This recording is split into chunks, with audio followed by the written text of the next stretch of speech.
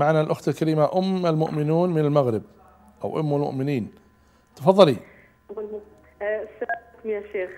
تفضلي. عليكم السلام ورحمة الله وبركاته. آه، أول شيء أريد أن أسأل هل هل هذا الاسم الذي سموني أهلي هل هو جائز شرعا أم لا؟ هذا اسم حقيقي؟ هذا هل أستحق هذا الاسم؟ أبي قال لي أنني سماني على عائشة أم المؤمنين. هكذا اسمي في البطاقة الوطنية أم المؤمنين. أولا اسم أم المؤمنين. توجيهكم.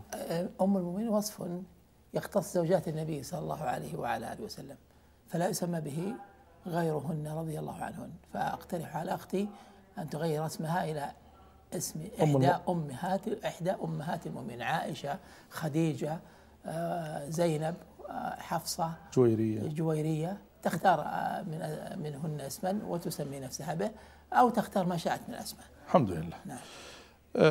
حتى نكون الأقرب إليكم تابعونا على موقعنا الإلكتروني. كما نسعد بتواصلكم معنا عبر صفحتنا على الفيسبوك. وأيضا على تويتر. وبإمكانكم دائما مشاهدة العديد من برامجنا على قناتنا على يوتيوب.